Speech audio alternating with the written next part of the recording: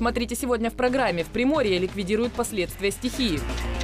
Гуманитарная помощь подтопленцам дойдет или нет? Огромное количество рыбы приплыло к уссурийцам. Мать-кукушка бросила новорожденного в подъезде.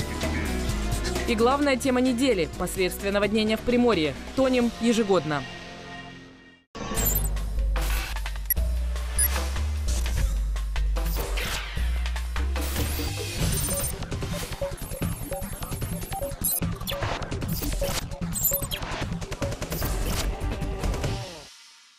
Приморье продолжается ликвидация последствий сильного ливня. Напомним, больше всех от стихии пострадал Уссурийский городской округ, а также Хасанский, Надеждинский, Михайловский и Октябрьский районы. Сегодня МЧС продолжает откачивать воду и разбирает завалы на затопленных территориях. Организована паромная переправа через реку Крауновка. Развернуто 10 пунктов временного проживания общей вместимостью 650 человек. Также восстановлено автомобильное сообщение по дороге Раздольная-Краскина.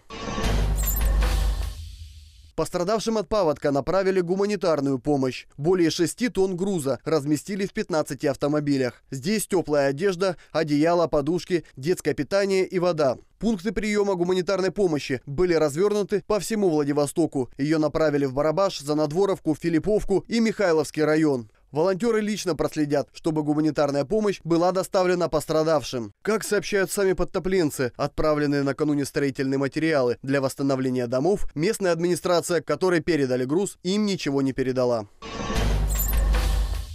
Гуманитарную помощь пострадавшим от наводнения жителям Уссурийского городского округа неожиданно оказала и природа. Огромное количество крупной рыбы приплыло в поселок Кугуки после прорыва дамбы. Жителям даже не пришлось особенно трудиться, чтобы собрать рыбу. Единственный минус – делать это пришлось по колено в грязи. Новорожденного малыша обнаружили у себя в подъезде жители дома номер 46 по улице Кузнецова во Владивостоке. Они сразу же вызвали полицию и скорую. Врачи осмотрели грудничка и нашли его состояние удовлетворительным. Сейчас малыш находится в одной из городских больниц, а сотрудники полиции разыскивают его мать.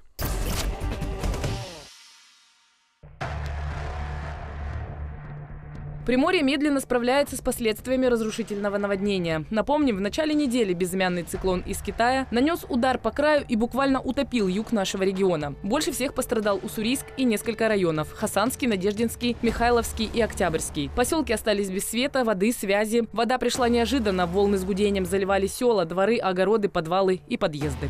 Было МЧС, сказали за два часа, я буду плакать, за два часа, короче, сказали, нас увезут это, наверх в школу, в Барабаш. У меня муж первой группы инвалида, это сам, он не ходячий, он лежачий. Никто не пришел. Вот ее муж, вот, и этот сват, это, на руках это вытащили, на коляске, это все это, вот, мы там людей ночевали, это самое, понимаете, тоже вся хата заплыта, все это вот. На несколько суток жители пострадавших сел оказались отрезанными от всего мира. Помощи дождаться у них не получилось. В Занадворовке жители сами копали траншеи, чтобы отвести воду от домов. Жертвы наводнения есть в каждом пострадавшем районе. Почему край не справился просто с сильными ливнями? Ответа на этот вопрос у официальных властей нет. И заявляют они следующее. Да, все гидроэлектрические сооружения в нормальном состоянии, все выполнили свою функцию. Никакой угрозы подтопления или прорыва их нет и не было. Это официальный ответ. Между тем, Уссурийск затопило полностью. В городе разрушился асфальт, в провалы ушли гаражи, детские и бельевые площадки. Жители пытались спасти свое имущество из затопленных подвалов самостоятельно. Справиться с последствиями ливня городским службам не удалось. Привлекали военную технику. Кроме того, МЧС просила помощи у жителей. До сих пор многие продолжают оставаться в пунктах временного размещения, а до магазинов и в другие необходимые места добираются на лодках. Было у нас такое наводнение, сейчас скажу, когда, лет, наверное, 7 назад, 8. У нас также в Занадворовке, тоже здесь, здесь, в Филипповке потопило, да? Нету. А, страшно? Да, очень. Мне было еще страшно, когда мы только в магазин сюда плыли. Мне было так страшно, я испугалась.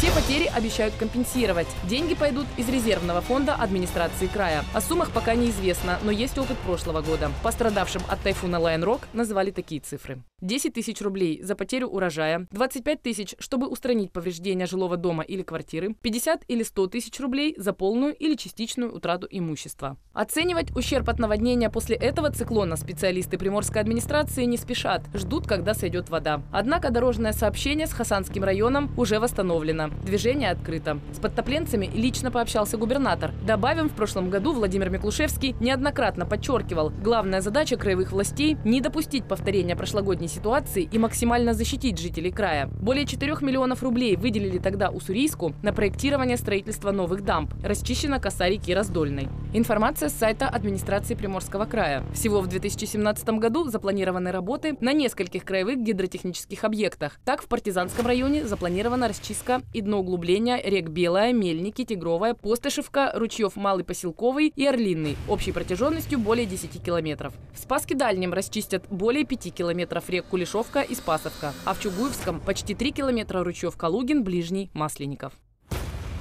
Какие работы выполнили, а какие остались только на бумаге, чиновники не отчитались. Между тем, на следующей неделе краю обещают новые ливни. Чего ждать людям, остается только гадать.